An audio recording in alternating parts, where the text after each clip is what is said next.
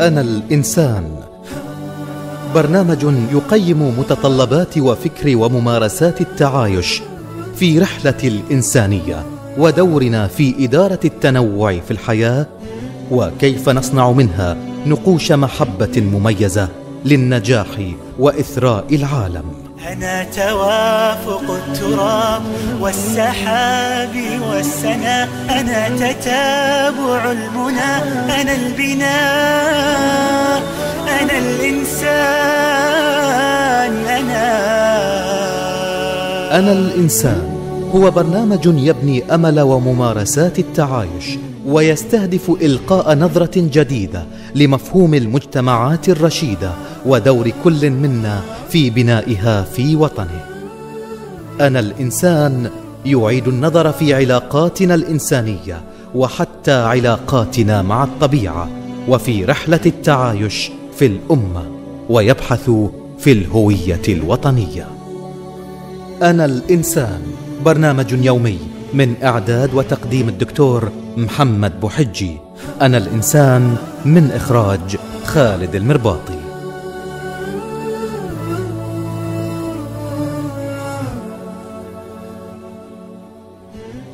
بسم الله الرحمن الرحيم. رب اشرح لي صدري ويسر لي أمري واحلل عقدة من لساني يفقه قولي.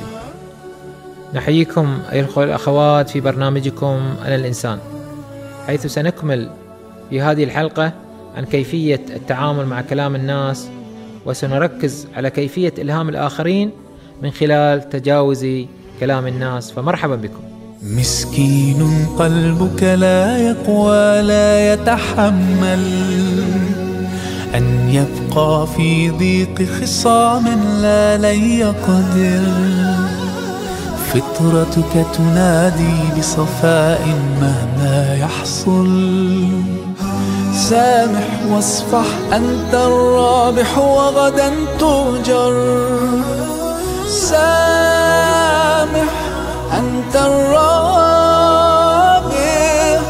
سامح واصفح واغفر واعفو قدرك يعلو قلبك يصفو. سامح أنت الرابح.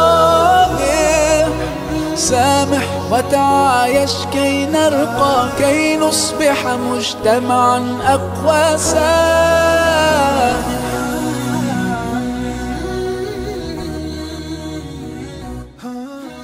لطالما رددنا أيها الأحبة في بيوتنا وفي مدارسنا ونحن في رحلة الحياة على مسامعنا وعلى مسامع أبنائنا وأصدقائنا الحكمة التي تقول رضا الناس غاية لا تدرك. فنحن نقول هذه الحكمة ونرددها من منطلق حرصنا على ضرورة عدم الاستماع لكلام الناس إلا لما فيه فائدة منهم أو لهم. وما أن يمضي العمر حتى تنهمر على آذاننا مرة أخرى عبارات صعبة لا يمكن تقبلها من الناس. فيعيش الإنسان منا في خوف من كلام الناس الذي أصبح عقبة أمام أحلامنا وطموحاتنا المستقبلية وحتى واقعنا الذي نعيش فيه. فالتغاضي عن كلام الناس هو فن لا يتقنه إلا القليل. ولكن لو أردنا أن نتعلمه نستطيع أن نتعلمه وبالتالي نسخره لكي نفهم واقعنا ونتعامل معه بشيء من الذكاء والإبداع. فبالتالي نتجاوز أولئك ضعاف النفوس الذين يريدون أن يسيطرون على الناس من خلال كلامهم. فكلما تعرفنا على النفسية التي يدير بها ضعاف النفوس التأثير على الناس بالكلام كلما استطعنا أن نتجاوز أن نحشي قلوبنا بالحقد والغل والحسد أو نحشي قلوبنا وعقولنا بالخوف والأفكار السلبية.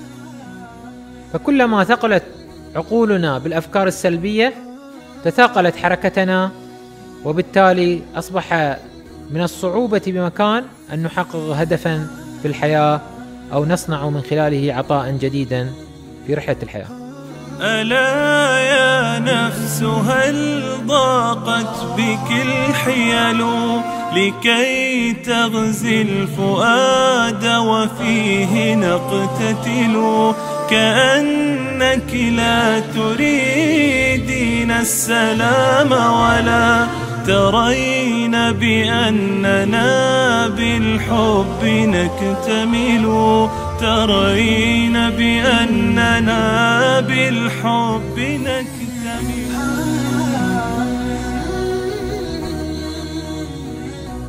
وتؤكد الدراسات النفسية والاجتماعية أيها الأحبة أن الخوف المستمر من كلام الناس لا يقود فقط إلى التردد في اتخاذ القرارات وإنما يجعل الإنسان منا لا يستطيع أن يتخطى تأثيره وبل يجعلنا تأثير كلام الناس كأننا عبيدا ننصاع لتأثير هذا الكلام. فنصبح ننفذ ما يقوله الناس أو ما يبتغيه كلامهم. فينحرم الإنسان منا في الاستمرار نحو تحقيق أهدافه. فكلما فكرنا في كلام الناس حول طريقة لباسنا أو تصرفاتنا تنتابنا موجة من التردد المؤقت وكلما فكرنا فيما هو أهم ربما في قرارات مصيرية لحياتنا ستنتابنا أيضا موجات من التردد الصعب والمزمن. ولكننا كلما واجهنا موقفا صعبا وبذلنا جهدا خاصا لنبقى متحررين وخفيفين من كلام الناس كلما زاد حماسنا وزاد التقدم الذي سنحرزه نحو تحقيق رحلة مهمة في الحياة ونحو إلهام الآخرين. لذا يقول الشاعر إذا ما بدت من صاحب لك زلة فكن أنت محتالا لزلته عذرا. أحب الفتى ينفي الفواحش سمعه. كأن به عن كل فاحشة وقرا. سليم دواعي الصبر لا باسط أذى ولا مانع خيرا ولا قائل هجرا. ولذا يقول أبو الحسن البصري البغدادي الشهير بالماوردي في كتابه أدب الدنيا والدين والداعي إلى هذا التأويل شيئان التغافل الحادث عن الفطنة والتألف الصادر عن الوفاء. فالإنسان منا يتغافل ليس عن غباء منه ولكن عن فطة منه. ويتألف الناس من خلال صبره على كلامهم ووفائه لهم. ولذا يقول بعض الحكماء وجدت أكثر أمور الدنيا لا تجوز إلا بالتغافل. ويقول آخر من شدد نفر ومن تراخى تألف والشرف في التغافل. ويقول شبيب بن شيبة العاقل هو الفطن المتغافل. فليكن أيها الأحبة تفكيرنا مختلف عن تفكير بقية الناس من حولنا. بداية بأن نبتدي أن دائما نتذكر ألا نتأثر داخليا من كلام الناس. سلبا أو إيجابا. مع إيماننا بأن الجميع لا يمكن أن يفكروا بالطريقة ذاتها. فما يبدو للبعض صحيحا يجب أن نراه قد يكون خاطئا بالنسبة للآخرين. وما يبدو للآخرين خطأ قد يبدو للبعض الآخر صحيحا. فلا يمكن الاعتماد على كلام الناس في تقرير الصواب أو الخطأ لأن ذلك مبني على أفكار الناس طبقا لثقافتهم ومجتمعاتهم وخبراتهم السابقة. لنخاطب النفس فنقول لها التأثر بكلام الناس لا يغير من قراراتنا شيئا. لا أتنازل عن أهدافي لأجل قول أحد وكلام الناس مؤقت التأثير والصدى. أما هدفي فهو نقطة فاصلة في حياتي. ومن القصص الجميلة من السيرة التي تروي عن أهمية التعامل مع كلام الناس هي القصة التي تروي عن توزيع غنائم حنين. وتقسيم أربعة أخماس الغنائم على الجيش بكامله ثم توزيع الخمس المتبقي على المؤلفة قلوبهم من طلقاء مكة وزعمائها. وكذلك زعماء القبائل العربية المختلفة. وكان توزيعا سخيا فقد بلغ نصيب البعض مئة من الإبل. وتجاوز هذا الرقم للبعض الآخر. وكانت العلة في ذلك هو عمل نبينا محمد صلى الله عليه وسلم على أن يصنع الاستقرار في الدولة الإسلامية وأن يوازن بين مصلحة هذا الاستقرار وبين مفسدة حرمان المجاهدين الذين بذلوا الجهد والنفس في سبيل ذلك. وكانوا سببا مباشرا في النصر يوم حنين. فوجد بعد الموازنة أن استقرار الدولة الإسلامية أثقل وأهم. ولذا أعطى المؤلفة قلوبهم ومنع السابقين الأولين من الصحابة. ولقد تقبل كثير من الصحابة هذا الموقف ولكن هذا الفهم لم يكن عند الجميع بل غضبت مجموعة من الصحابة لهذا الفعل. فقد شعرت مجموعة من الصحابة أنهم حرموا ما يستحقونه وكانت هذه المجموعة أغلبها من الأنصار. فقد غضب كثير منهم لأن النبي صلى الله عليه وسلم لم يعطهم من الخمس المملوك للدولة مع أنه أعطى بسخاء مجموعة حديثة العهد بالإسلام مع أنهم لم يقدموا شيئا للإسلام كما قدموهم ولم يشاركوا في تأسيس الدولة الإسلامية.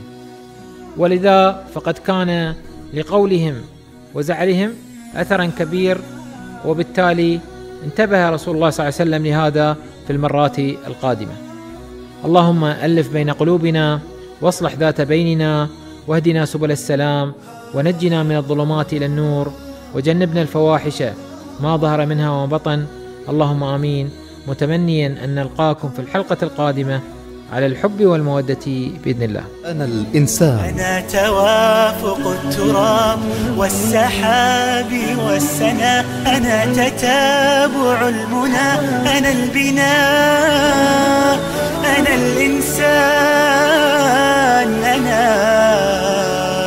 أنا الإنسان. برنامج يومي من إعداد وتقديم الدكتور محمد بوحجي.